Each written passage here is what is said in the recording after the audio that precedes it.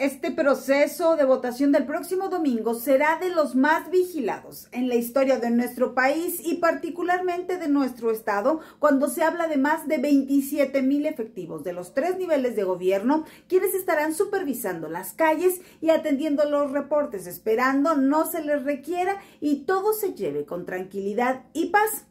Y es que desde hace algunos días ya se había informado por parte de la Secretaría de Seguridad Pública del Estado de Guanajuato que 27.637 elementos de seguridad estarían participando precisamente en este operativo especial para organizar la seguridad y el buen desarrollo de la jornada electoral de este domingo 2 de junio del 2024. Y es que antes de lograr definir el número de elementos que estarían integrando este operativo, bueno, pues se llevaron a cabo una serie de reuniones que son de coordinación tanto instituciones de seguridad como cuerpos de emergencia son los que se saben estuvieron participando precisamente en estas reuniones. También se informó que estos elementos andarán en 3.853 unidades de todo tipo. Y estamos hablando que incluso helicópteros y de manera permanente antes, durante y después del cierre de la jornada electoral, donde habrá extrema vigilancia.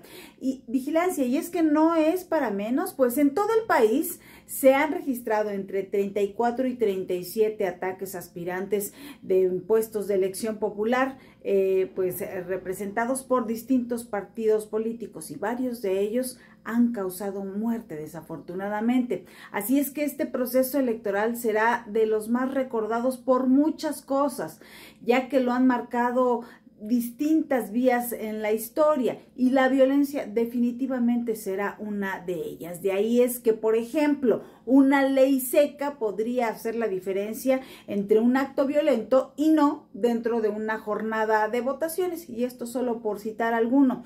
Es que esta ley seca no ha sido bien vista desafortunadamente por todos, pues hay al menos, por ejemplo, en el caso de Celaya, 15 restauranteros que pidieron al gobierno local cancelarla, aunque la autoridad no lo permitió, mientras que hay otros municipios, como el caso de San Miguel de Allende, con otra visión turística, que decidieron no llevar a cabo una ley seca. Me encantaría saber usted qué opina, ¿será viable o no será viable?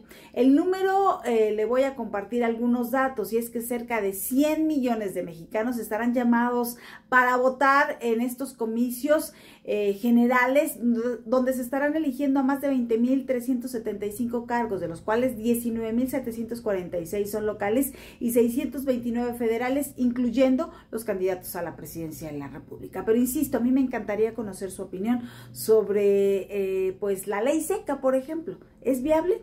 ¿No es viable? ¿Usted cómo lo ve? Yo soy América Ortiz y lo espero de lunes a viernes a las 7.30 de la mañana en la primera emisión de Noticieros Expresa TV.